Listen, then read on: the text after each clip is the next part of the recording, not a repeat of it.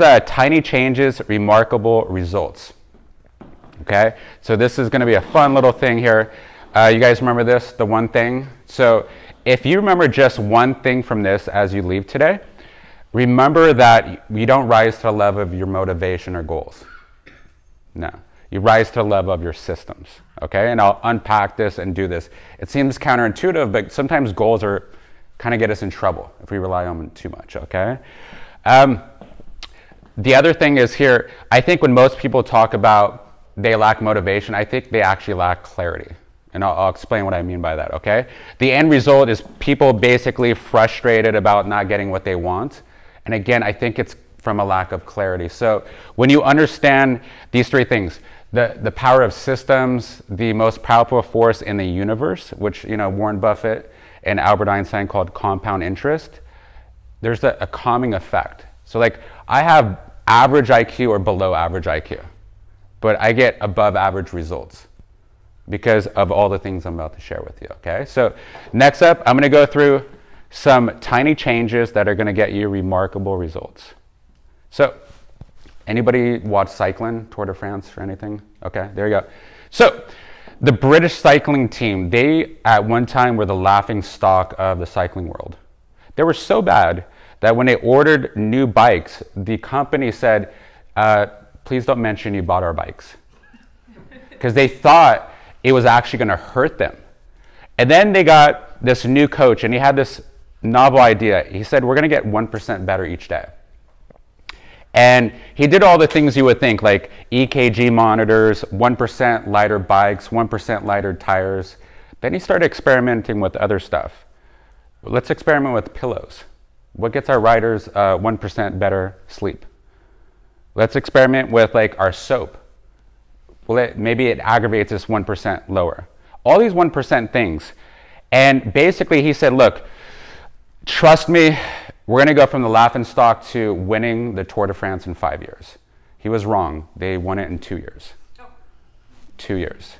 So he knew, and this is what it is right here most powerful force in the universe, Warren Buffett. You get 1% better over a year, that's 37 times better. If you double, it's not even seven, it compounds. It's probably like triple or quadruple, okay? Changing habits are hard for two reasons. You're either trying to change the wrong thing or going about changing the things in the wrong way. I'll unpack this, okay? So this is, this is a kind of mind screw here. This is what this coach knew. He knew the, the plateau of, Latin, of latent potential. So if you can't see this, I'm gonna, I'm gonna draw this. Two lines. We got results here. We got time here. We start a workout program. We think this is gonna happen. Right? But what actually happens is this.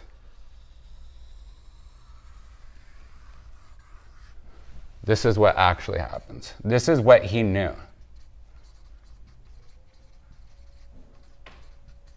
Here's the interesting part. This gap between what you think will happen, what will actually happen, we call this the valley of disappointment.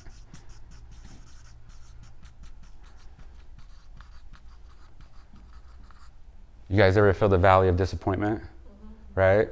I think it's because there's a lack of clarity. And I'll further unpack this. I know this is going to happen. I know that at the beginning, I'm building up momentum and it shoots up. Okay? So again, I'll unpack this, but know this is what actually happens, right? And this is what he knew when he was doing these 1% improvements where people were laughing at him. He was like, all right, world's most powerful force in the universe. Know that this valley of disappointment is going to happen. But if you know it's going to happen, you're not going to be too stressed out about it. Here's the other thing I think people are changing in the wrong way. We need to go from outcome dependent to identity process, identity. Here's a question, who am I? Outcome versus identity, this major one. So if I offer two people here a cigarette, person one says, no thanks, I'm trying to quit. Outcome. The second person says, no thanks, I'm not a smoker. Identity. I've coached 14 years. I'm on my 14th year. I've never not once met somebody who outperformed their identity. Never not once. Maybe they got the goal, but then they revert back to the identity, right? So 90% of the people that win the lotto go bankrupt. They're putting the windfall money on a bankrupt identity. Okay? So this is the big thing right here. These are the three layers of behavior change. Inner area is identity. Then it comes process, then it's outcomes. Most people are doing the complete opposite. They're focusing on outcomes, but their identity is still I can't lose weight. I'm not a morning person. It's too hard for me. Right? So ask yourself these questions. There's a, a page, the front page. Uh, we're going to go through this really quick. Who is the type of person that could achieve the outcomes we want? Who's the type of person that loses 20 pounds and keeps it off? You know who that is? It's somebody who doesn't miss workouts. If they can't make it to the gym, they do 10 push ups, 10 squats, they do a walk. And each time they do this thing, if you're outcome based, you have the idea, oh, it's just 10 push ups, it doesn't matter. To somebody who has that identity, they're doing 1% reinforcements to their pillars. Okay? So spend like a minute. There's on this page. So here's the thing I, I learned from uh, one of my mentors if you just passively watch, you retain like 10%. When you actively engage, it goes up to 30 to 70. So spend about a minute on the first page. It asks you the question who is the type of person that could achieve the outcomes we want? Does that make sense? And I encourage you to do this. And so, does anybody have a goal here? Right? You don't have to share it, just write something down. Who's the type of person that would get that results? Super important. You don't want to you don't want to run a marathon, you want to become a runner. You don't want to write a book, you want to be a writer. Right? Spend a few, spend a minute I know some of you are not doing it, but I encourage you to do this. This is huge. Yeah? Was that? Uh, it is. It's on the other side. Yeah, on the other side. Spend about a minute. And you don't have to do it complete. Maybe you bookmark it for later. Think about this. In 14 years of coaching, I've never once met somebody who outperformed their identity. They may outperform it for a little, they get the goal, but the goal gets you temporary results. About 30 more seconds.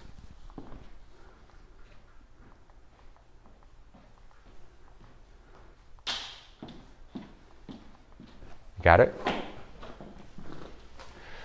I want you to think about the person who wins the lottery and goes bankrupt. They got money on a poor mindset. And so they go bankrupt again. And this is what happens in health and fitness. You get a goal, but you're putting it on a bankrupt mentality. I can't lose weight. That's just not me. What story are you telling yourself? Cool, about 10 more seconds, and you can finish later too. Cool. So, um, who is the type of person that can achieve the outcomes we want? So, this is, I, I, would encourage you to think about this every day. Each and every day, you're, you're casting a ballot, you're casting a vote. You're casting a vote for the type of person you want to be. And when you cast that vote, whether it's like 10 push ups, walk around the block, you're casting a vote for the person you want to be. And you know what? You're making time your ally. Right? This is what the British cycling guy did. But if you cast a vote for the person you don't want to be, time becomes your enemy. Right? And here's the thing we got elections coming up. Nobody wins an election in a landslide. No one gets 100% of the votes. You just got to cast more votes for the person you want to be. So if you think like doing 10 push ups is nothing, well, you just cast a vote for the person you don't want to be. Time is now your enemy. So think about this. Hopefully, uh, those little things you think are not going to make a difference, you're actually casting a vote. Does that make sense? Make time your ally. So again, most people think they lack motivation when I think it's actually a lack of clarity. Anybody fly a plane before? Anybody in a plane before? Yeah? Okay. 2019. So I would encourage you to switch your focus from your current results to your current trajectory. This is what the British cycling, I'll, I'll, unpack it. This is what he knew that nobody knew when everyone was laughing at him. He was just like, mm, give, me, give me a few years. So, trajectory, where you're going. This is so important. So, these, this is the impact created by a barely noticeable change, and this happens every single day with people. So, if you take off from LA, what a final destination of New York. And if the pilot changes the nose three and a half degrees south, you can't even notice it. You'll end up in Washington, D.C. instead of New York. And this is what happens every day with people. This is why I'm so calm under pressure, because I know, I know my trajectory. I know this. I know this is coming. What's your trajectory? So a lot of people will start, I get this, I want results now, I want results now. Hey man, you ever fly a plane? We all want to get there right away. What's your trajectory? And they're going to have a valley of disappointment. You're going to have times where your neck is hurting, the kid's crying behind you, the bathroom has a long line. It's okay, relax, look at the trajectory, okay? It's kind of like throwing a tantrum on a plane saying, I want to be there right now. We all do, right? So think about the trajectory. This is the mind screw because these small things that are not even noticeable, think about this airplane. What's your trajectory instead of your current results? This is what progress actually looks like. I want you to picture, if you will, these two ice cubes in a, in a cold room, and it's 25 degrees. And I raise the temperature to 26 nothing happens. I raise it to 27, nothing happens. I raise it to 28, nothing happens. 29, Jesus. 30, nothing. 31, nothing. All right, 32, it starts melting. This is what progress looks like. And it's my belief complaining about not getting results when you're working your ass off is like complaining about the ice not melting when you went from 25 to 31 degrees. Your work was not wasted, it was just being stored. This is how I'm so extraordinarily calm under pressure. Because I know I have clarity. I'm not wasting time, I'm storing the temperature for that critical mass. This is what the British cycling guy knew. He was like, You guys keep laughing, like, and they, they've dominated. They, I mean, they dominated right? They won like I think like 70%, 80% of the like world championships because he knew he was not wasting things, he was having things being stored. This is that this was actually a big breakthrough for me actually a few years ago. The purpose of a goal, check on time. Purpose of a goal is to win the game. The purpose of building a system is to continue to play the game. I'll give an example. Some people will get a goal, say they lose 20 pounds. They get the goal, they won the game. They don't have a system to continue to play the game, and then they yo yo back.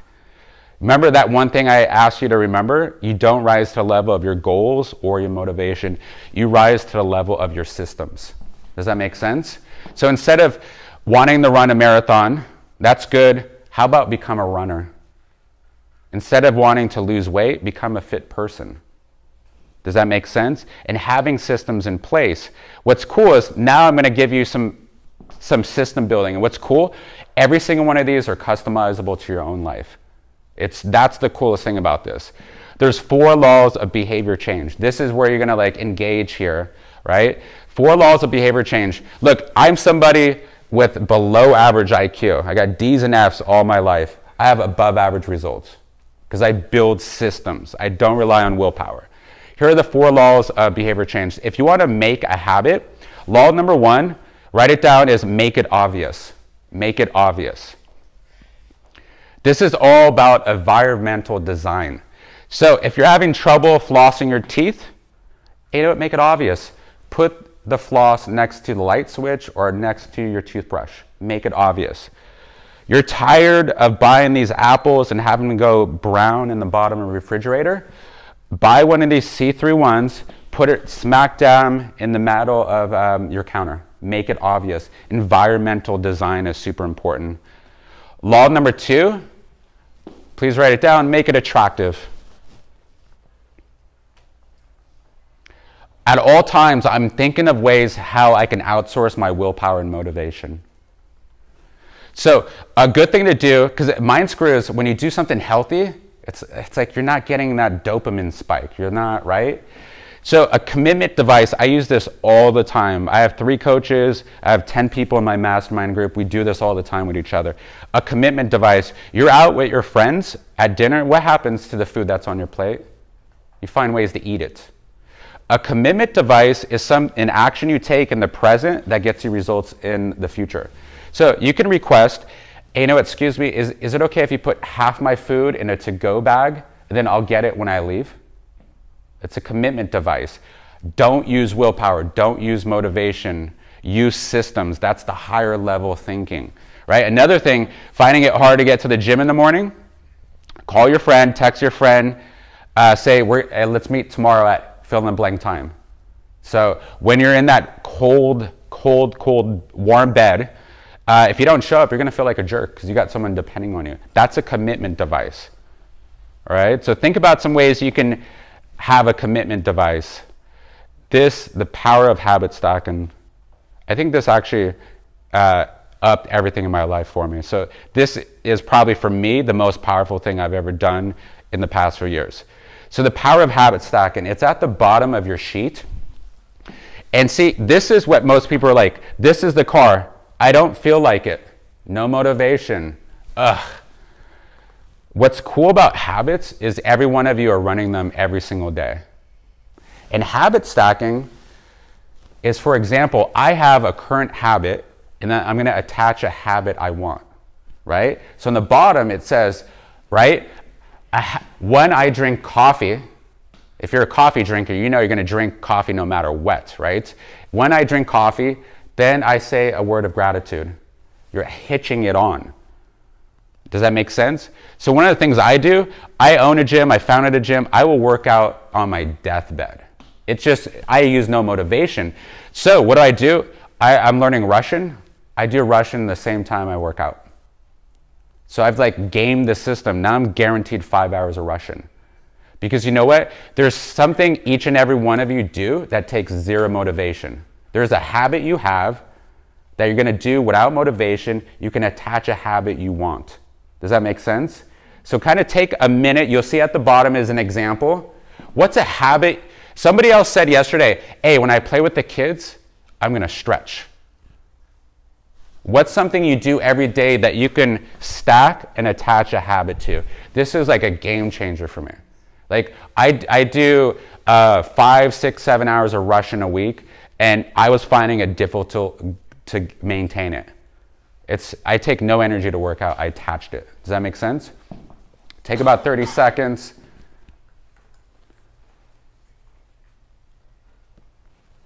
Another thing you could do is if there's something you really, really enjoy, on the front end, you'll see to unlock that thing, you start with a habit you need to get to the habit you want or do, current habit. So, for example, to unlock my workouts, I have to spend 15 minutes on a, a difficult project. So, in order to get the current habit I have, I built a system. I have to unlock it by doing 15 minutes of this project. At the bottom, it says, when I say something of gratitude, then I can check Facebook. It's not a lack of motivation people have, it's actually a lack of clarity. You need to tell your brain where these habits need to live. Because if you use motivation, you're not telling your habits where to live. They're homeless, okay? So spend about 30 seconds, uh, a few ideas where you can habit stack. Does that make sense? Current habit, attach a habit you want. And then a habit you need unlocks a habit you currently do.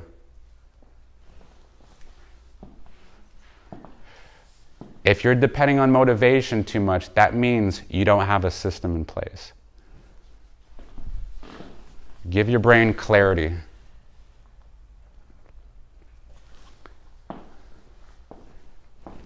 Cool and nice. So, law number three of four make it easy. Make it easy. Two minute rule, I've been meditating for about seven years straight. I started with the two minute rule. Here's the key establish, then improve. Establish, then improve. Professionals show up. Professional show up. So most people think everything's got to, the stars got to be perfectly in alignment. Look, here's, you got to scale it down as much as possible. If you want to start running, just put on your freaking tennis shoes. And that's it.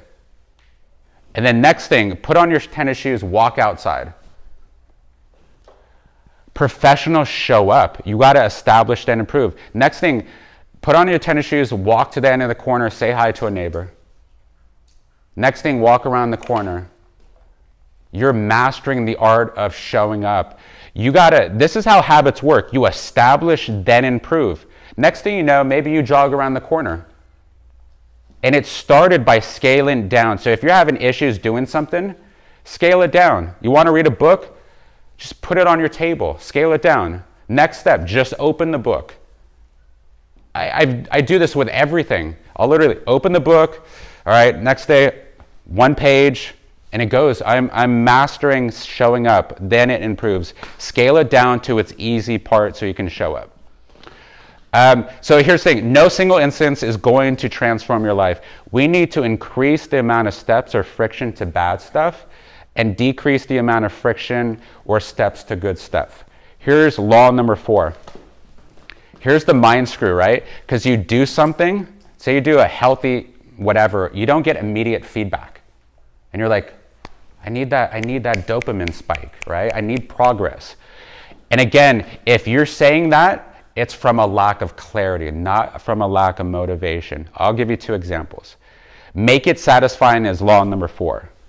So see progress. So if somebody works out for a week, they might not see any progress if they don't have clarity. How do I game the system? You get a calendar, get a habit tracker. Every time you work out, put an X. Now you can see progress day one. Week one, I only got three X's. Week two, four X's. That's your progress. Make it satisfying. Game the system. If you have a lack of motivation, my argument is you have a lack of clarity. Number second thing, I this actually I stole this from a salesperson. So if you guys don't know, I just don't coach. I make like 40, 50 calls a week. People just don't magically show up here. Um, and sometimes I'll get on a call, first two calls, it's awesome. I get new, we get new people in here. You probably, I've spoken to a few of them on the phone. And there's sometimes where like I'm 30 calls in, I'm like, I can't get anybody on the phone. I got this from this person. So what I do, I actually do this. I get paper clips, each call I make, I put it in here. And I can see the progress, right? So if you don't see progress, it's because you don't have clarity or system. So I use this and now at the end of the week, it fills up. I have a little bit taller one. So make it satisfying. What are other ways you can see progress? Okay? And we got about four minutes left here. So if you want to break a habit, we inverse the laws. We inverse the laws. If you want to break a habit, write this down. It's on the second page. Sorry, Let's flip the page. Cool, cool. Law number one, inverse, make it invisible. Please write that down. Make it invisible. Environmental design. It's hard. So if you want to stop eating those cookies, hey, how about you put them in the garage or in a cabinet out of sight? So when you come home from a long day at work and you're out of willpower and you're just grumpy, I got to go in the garage to get that? Ah, screw it. Here. Make it invisible, increase the friction.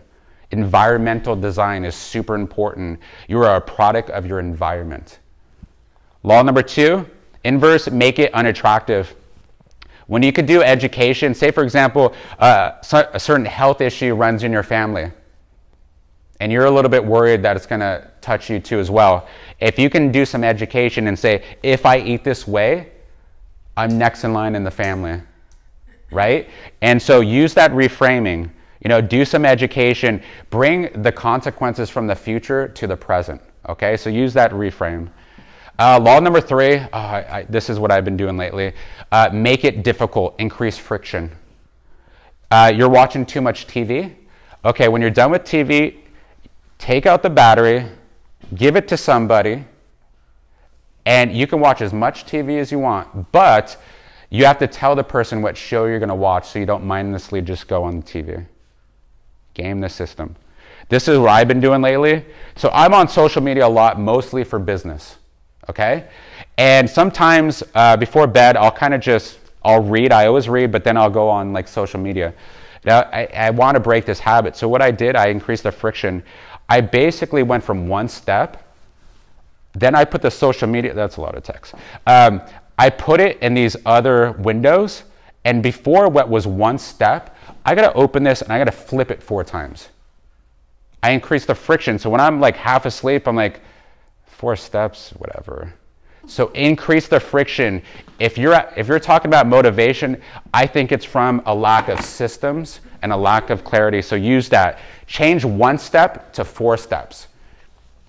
Final law, last few here. In version 4, make it unsatisfying.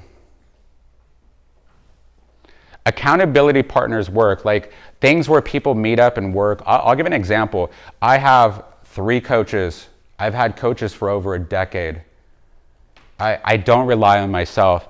And when you tell somebody, like my coach Asa, she's like the female version of me. She, we're very blunt with each other and stuff. Uh, and she holds my feet to the fire. And we do goal setting and we have to meet every we get to meet every month and it's going to be unsatisfying if i look her in the eye and she and i didn't follow through okay another thing you could do is contracts some of the things i've done with my friends i'll say you know i need to do this project here's 20 bucks uh, every time i give you an update i get five bucks back or if i don't do this i have to pay you five bucks and if you don't want to use money use some other currency some other currency. Again, if you're talking about a lack of motivation, my, my contention is it's because you have a lack of systems. Because remember the one thing I told you that I hope you remember? It's not a lack of motivation, it's a lack of systems. You rise and fall to the level of your systems. And then here's the final two things here. Some of you are going to go home and you're like, eh, that was all right, that was great, you know, I had an aha moment. Some of you are going to go home and you're going to put this stuff away. Some of you are going to take action. I hope when you come to that critical road that you think of this last final two slides and this story. So, Jerry Uelsmann, he's a professor in Florida, and he divided his photography class into two sections. One section, he said, I'm going to grade you guys on the quantity, the amount of pictures you take. You guys, I'm going to grade you on the quality of pictures. And you can even turn in one. Okay? Right? So, how many you take, quantity, quality. At the end of the semester, everybody turned in their stuff, and he found that not a single freaking good picture came from this group. All the great pictures came from this group. And this concept is called motion versus action. This group was so in their head thinking about the perfect picture to take, they didn't hone their skills. And they were doing things that they thought were making them better motion. They're thinking and using RAM, but they're not getting anywhere. This group just kept taking pictures and honing their skills. After 10 pictures, ah, better, better, and they had the better pictures. So when you go home and you're thinking about, you know, I'm thinking about it. I want you to think back about this. It wasn't the people who thought about it or the perfect picture. It was the people that actually took pictures and honed their skills. Okay? So hopefully, when you get home, you take pictures and hone your skills. Okay? So that is my speech. And uh, if you have any questions, let me know. We got maybe like a minute of questions, and Dr. Thomas is up next.